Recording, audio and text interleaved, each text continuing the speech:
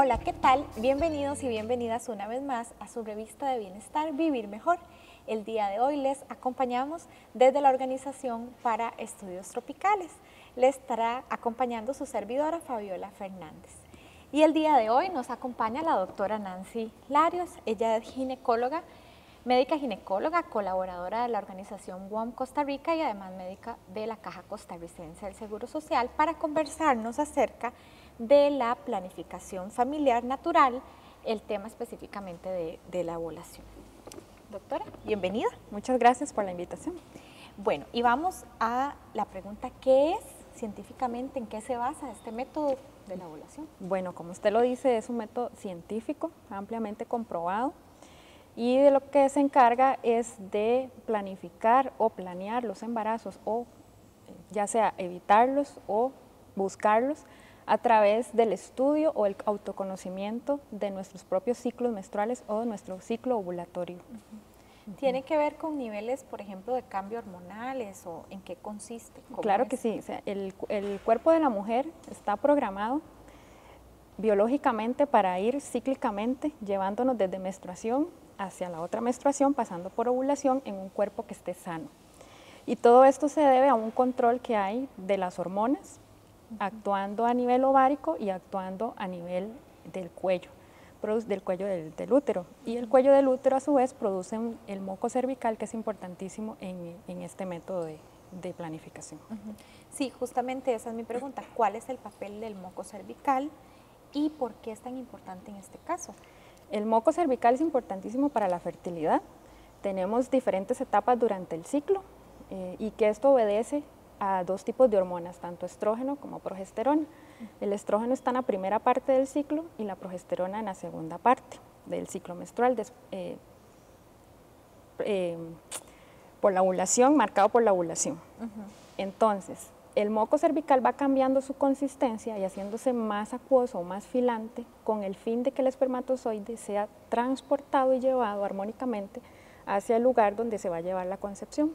Entonces, un moco cervical sano es fundamental para que se dé la fertilización. A través del estudio de este moco y de los cambios que se van dando a través de los días, vamos identificando cuáles son nuestros días fértiles y cuáles son nuestros días no fértiles. ¿Cuál es la efectividad de este método y si los resultados varían de mujer, a, de mujer a mujer? La efectividad de los métodos anticonceptivos, bueno, está medido eh, básicamente hay un índice que se llama índice de PER, que lo que mide es cuántas mujeres se embarazan en un año, de 100 mujeres cuántas se embarazan. Lo que pasa es que depende también, llamamos uso típico y uso, uso perfecto. El uso perfecto es aquella mujer que se sabe el método, ya sea artificial o natural, pero que se lo sabe eh, bien, perfectamente y lo utiliza como debe ser. El uso típico es aquella, por ejemplo, si usa anticonceptivas orales, la que se le olvidó, la que no se le olvidó, o en caso del método natural, la que simplemente no cumple las reglas que hay que cumplir con el método. Entonces, cuando es uso perfecto, hay estudios, hay un estudio muy grande en China que eh, la efectividad es en, tasas de embarazo menos de 0.5%, es decir, 99.5% comparables con los demás métodos de planificación. Ahora, esto varía de mujer en mujer por causas como externas al, digamos, cómo lo uso yo, como el, mi propio autoconocimiento. Exactamente. No necesariamente porque el método falla en sí. Exactamente.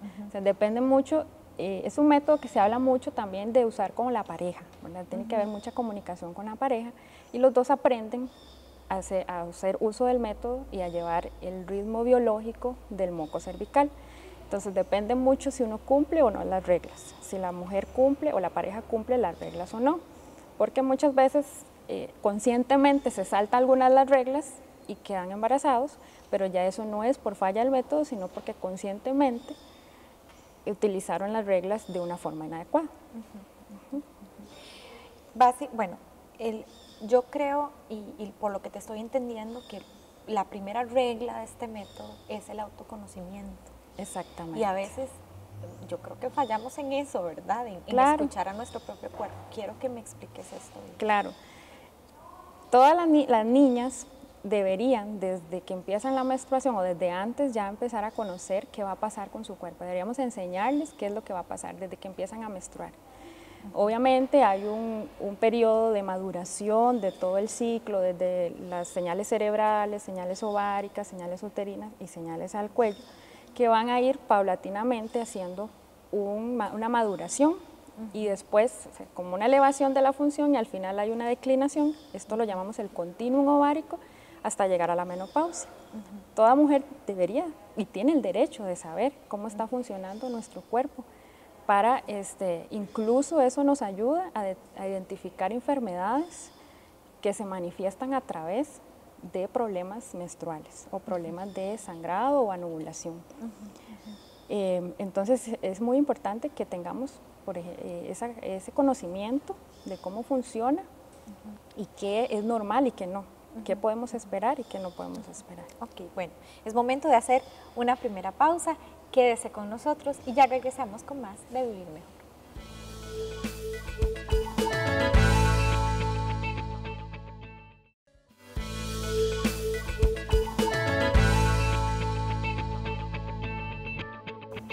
Gracias por continuar con nosotros en Vivir Mejor. El día de hoy hablando sobre la planificación familiar natural, acerca de la ovulación, con la doctora Nancy Larios. Ella es ginecóloga, médica colaboradora de la organización WOM Costa Rica y además médica de la Caja Costarricense de Seguro Social. Doctora, ¿cómo se pone en práctica? ¿Cuáles son los pasos para poner en práctica este método, el método Billings? Lo más importante es enseñar a graficar lo que la mujer va sintiendo a, lo largo del ciclo. Es decir, cómo va viendo el moco, cómo se va sintiendo, si se va sintiendo a nivel vulvar, si se siente húmeda, mojada, seca. Y con el fin de identificando lo que llamamos el patrón básico infértil, que es un moco que definitivamente es inapropiado para que se dé la fertilización de un óvulo. Entonces, durante el mes se va haciendo una gráfica de lo que, como le digo, de lo que se va viendo y de lo que va sintiendo. ¿Esto durante el día o en la mañana o en la noche? Se va observando durante el día y se anota en la noche. Y son cuatro reglas. La primera regla es que no se deberían tener relaciones durante los días de menstruación fuerte, los días de sangrado fuerte. Esto porque también puede haber cierto moco de que la primera fase, que es la fase donde el folículo se va reclutando para llegar a la ovulación, se puede, se puede acortar y no lo podríamos identificar si tenemos relaciones en esos días, porque el líquido seminal también puede confundir la secreción. La segunda regla es, después de la menstruación, cuando ya tenemos un patrón básico infértil, es decir, que ya identificamos un moco que no es favorable para la fertilidad, se pueden tener relaciones en días alternos en la noche. ¿Por qué días alternos? Porque al día siguiente, con las relaciones en la noche, el día siguiente podemos tener una descarga de líquido seminal y este, no, eso no es un moco diferente, sino es líquido seminal. La tercera regla es cuando ya seguimos el ciclo y empezamos a cambiar el moco hacia un moco que va a terminar en una ovulación, el moco va cambiando de, humedad, se hace más húmedo, uno se siente más resbaloso hasta llegar al, al día pico que llamamos, que es el día de la fertilidad. Entonces en esos días no se debería tener relaciones hasta ver que se llegue al día pico. El día pico se identifica porque es el día máxima resbalosidad y al, otro día ya se vuelve, cambia el moco drásticamente. Entonces, la otra regla es, identificando el día pico o el día cúspide, se esperan tres días de cambio de moco y después de ahí tienes vía libre para tener relaciones a la hora que sea, los días que quieras, hasta que venga la próxima menstruación. cuando, cuando se está haciendo un, digamos, se está aplicando esto, tratando de aplicar, pero además la persona toma, por ejemplo, pastillas anticonceptivas, ya no funcionaría no, lo del moco. No es aplicable. Okay, la pastilla, no se pueden combinar. No, no se pueden combinar porque afecta completamente la producción de moco. Vamos a detener esta conversación para ir a la sección de Vivir Mejor y luego a la pausa y retornamos con el siguiente bloque. Hola, bienvenidos. Hoy vamos a conversar acerca de la ovulación como método de planificación familiar. Por eso está con nosotros Johansen Palma. Ella es instructora certificada de WOM Costa Rica para la enseñanza del método de ovulación Billings. Muchas gracias por estar con nosotros. Muchas gracias, Gabriela, por invitarnos y es un gusto para mí estar en este programa. Empecemos, por favor, primero cuéntenos qué es este método de ovulación. El método de la ovulación Billings es un sistema único de planificación familiar.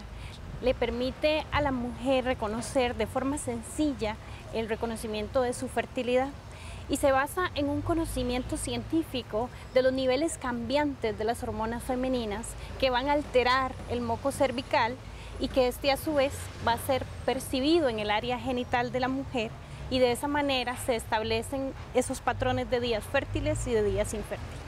Eso es algo que por su cuenta ella, solita, la mujer lo puede eh, percibir. percibir, distinguir. Exactamente, exactamente.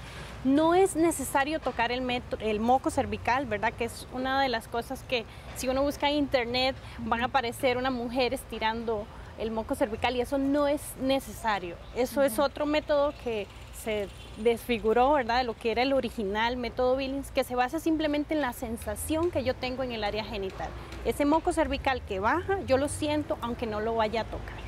Ok. ¿Es diferente que el método del ritmo? Sí, es muy diferente, porque en el método Billings necesitas hacer un registro diario.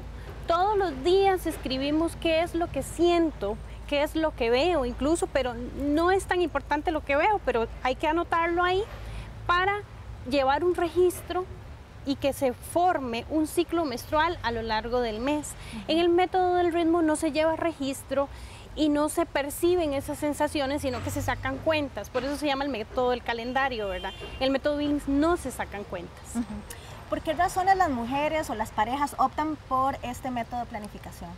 Em, bueno, los estilos de vida saludables, ¿verdad? Y las personas y las mujeres que se están preocupando mucho por comer sano, porque se preocupan que su comida sea orgánica, por hacer ejercicios, por tener mejor calidad de vida, se da cuenta que no es congruente vivir de esa manera y estar usando anticonceptivos que sea como sea son químicos que van a alterar el funcionamiento normal del cuerpo y no calza con esta visión que el mundo está teniendo. Y es una tendencia mundial hacia lo ecológico, hacia lo natural, hacia lo orgánico. Y por esa razón cada vez más personas se están interesando en aprender el, método ¿Qué ventajas tiene utilizar este método?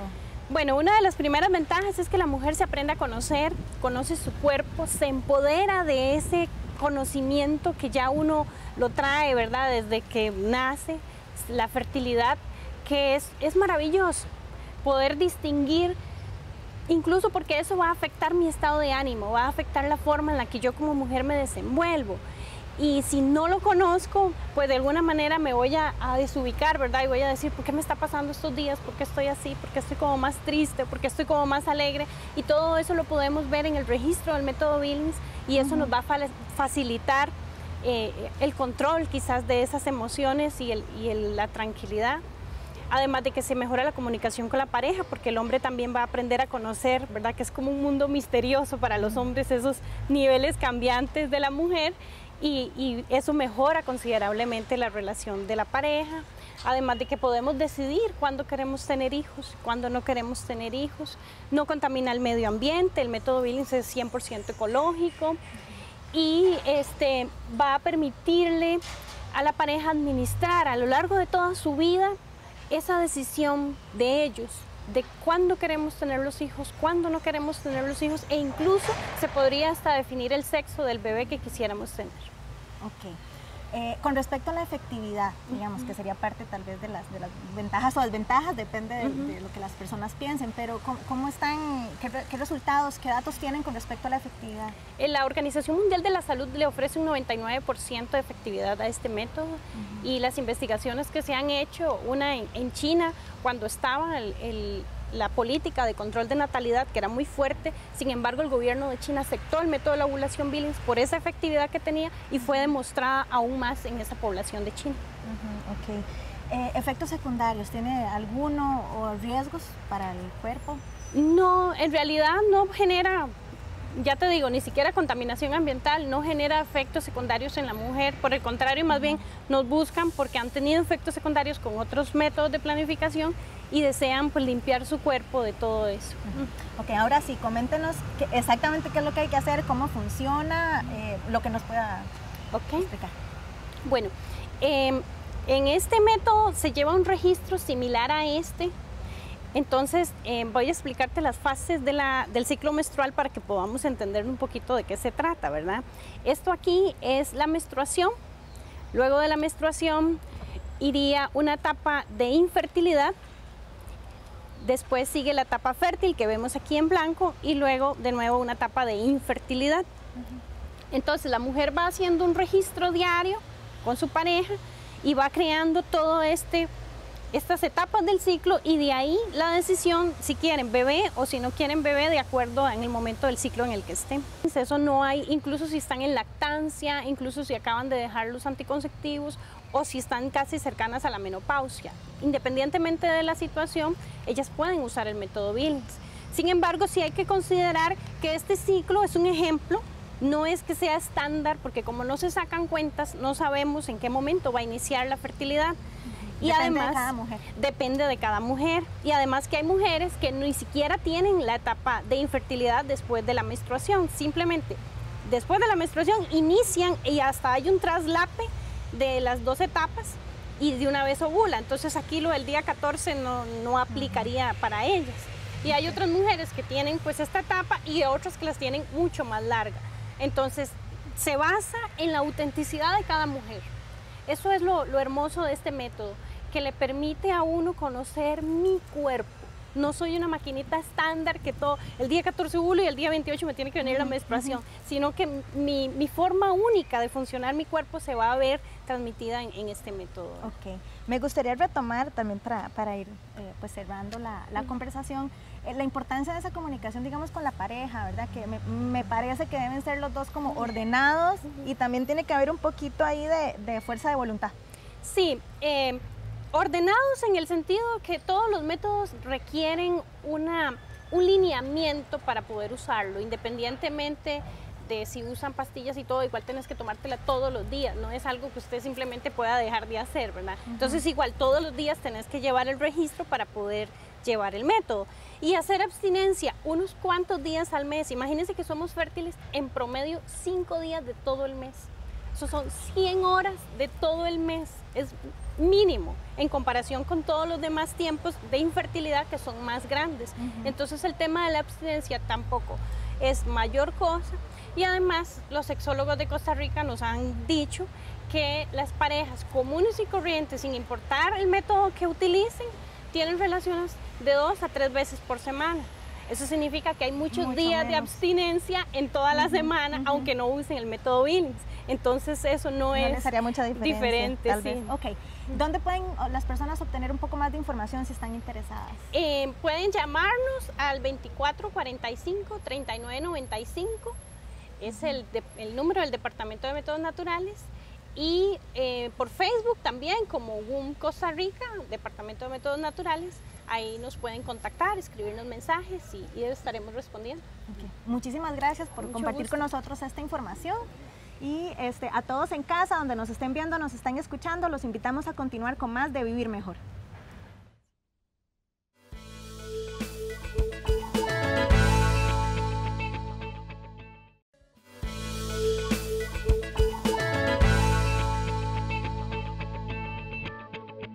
Gracias por continuar con nosotros en Vivir Mejor. El día de hoy conversando acerca de la planificación familiar natural. Para ello nos acompaña la doctora Nancy Larios, ella es ginecóloga, colaboradora de la organización WOM Costa Rica y además médico de la Caja Costarricense del Seguro Social. Doctora, después de cuánto tiempo en que yo estoy anotando, registrando, ¿verdad? Lo que está pasando con mi cuerpo, ya podríamos decir que hay un patrón o que ya conocí realmente mi patrón. Sí, uno puede empezar a graficar en el momento en que uno deja, digamos, otro método artificial. Y hay que esperar 15 días ahí sí, sin, sin relaciones, para ver cómo ese moco se va a comportar. Después de tres ciclos donde hemos identificado que hay cúspide o que hay ovulación, ya podríamos determinar un patrón básico infértil, ya sin, sin problema. Que, bueno, si se si se desea lograr específicamente el, embarazo, eso es lo que quiero volver a recalcar para que quede claro, las relaciones coitales deberían de ser cuándo? El día de identificación del día cúspide. Entonces, es que es el día de máxima resbalosidad. Uno va viendo dónde va cambiando el moco y donde se va haciendo más líquido o más tipo, más tipo clara de huevo, más viscoso, más claro y se siente resbalosidad en el área genital o en la vulva. Esos son los días donde ya estamos cerca de llegar a la ovulación. Durante esos días es donde hay que tener la relación y los tres días después, porque puede haber una ovulación un poquito retardada y donde puede haber también una posibilidad de lograr el embarazo. Doctora, cuando hablamos de este, de este método, ¿hay alguna patología en contra de este método? Por ejemplo, los ovarios poliquísticos podrían afectar o alguna otra cosa y que además usted vea en la consulta que es muy frecuente. En realidad no hay ninguna mujer que, que, haya, que tenga alguna contraindicación para hacer uso del método. Hay ciclos de ciclos, ¿verdad? Todas somos diferentes, todas tenemos, somos únicas y tenemos un ciclo que puede variar incluso de mes a mes.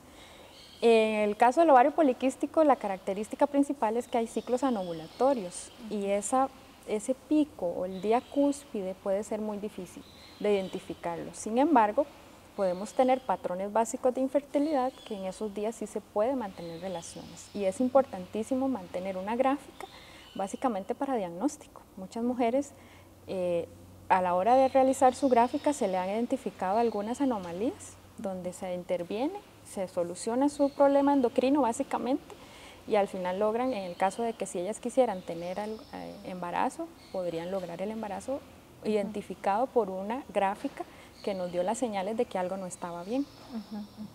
Además, ¿se debe consultar a un especialista antes de iniciar esto? No necesariamente. El método está hecho para ir en acompañamiento, o sea, uno no lo puede aprender solo tiene que ir a recibir cierta eh, instrucción y después de que uno ya inicia, tiene que ir acompañado por un instructor certificado de, la Organización Mundial de Billings, donde va a ir acompañándote, revisando la gráfica y diciéndoles si, qué cosas están bien y qué cosas están mal con el fin de que el método sea lo más efectivo posible. Además, bueno, yo quisiera que nos conversara también acerca de la organización que usted apoya, la organización WOM Costa Rica. ¿Qué, hace? Qué, ¿En qué consiste? ¿Cuál es su...? La organización lo que hace es un grupo de instructores, todos ellos certificados, certificados a nivel internacional por WOM Internacional, que, cuya sede está en Australia, que de ahí son los doctores Billings, que fueron los crearon, que crearon el método, y ellos se encargan de ir a dar los cursos eh, o dar, ya sea grupales o individuales, los cursos a, quien lo, así lo requiera y lo, lo necesite. Mi función ahí es apoyarlos en los casos donde hay gráficas que nos reflejen alguna enfermedad o algún problema endocrino donde hay que intervenir a nivel ginecológico con el fin de mejorar o de revertir esa patología a la cual estamos enfrentándonos con esa paciente. ¿Tienen alguna, algún lugar para, o ustedes tienen em, Facebook o algún lugar para contactar? Sí, hay una página, WOM Costa Rica, es W-O-O-M-B Costa Rica. Y también está la de WOM Internacional, esta página Billings Life, que es la australiana, donde hay información de todo tipo, recurso ilustrativo donde se puede uno informar acerca del método. Y ellos tienen una oficina también. Doctora, para ya ir cerrando el programa, nos queda apenas un minutito. Eh, realmente lo que me deja, digamos, de esta entrevista es el tema de la comunicación de la pareja, porque si bien es cierto, yo como mujer tengo que tener un autoconocimiento para poder desarrollar este método, también tengo que tener un tema de, pareja. Digo, no estoy sola en esto. Exactamente. O sea, si bien lo puedes usar sola, en pareja es mucho mejor y, se da un marco también de armonía y de respeto, ¿verdad? Entre, entre respetar lo que mi cuerpo me está diciendo en ese momento y lo que me está queriendo decir de qué está pasando conmigo, tanto para vivir una sexualidad eh, saludable, ¿verdad? Bueno, agradecerte el espacio, la posibilidad de, de esta entrevista. con mucho gusto. Hemos llegado al final de un programa más de Vivir Mejor. Esperamos que sea de gran utilidad la información que aprendimos hoy. Además, les recordamos que este método y los métodos en general de planificación y anticoncepción no protegen de las infecciones de transmisión sexual. Pueden seguirnos y darnos sus sugerencias también en nuestra página de Facebook Vivir Mejor, Canal UCR. Hasta pronto.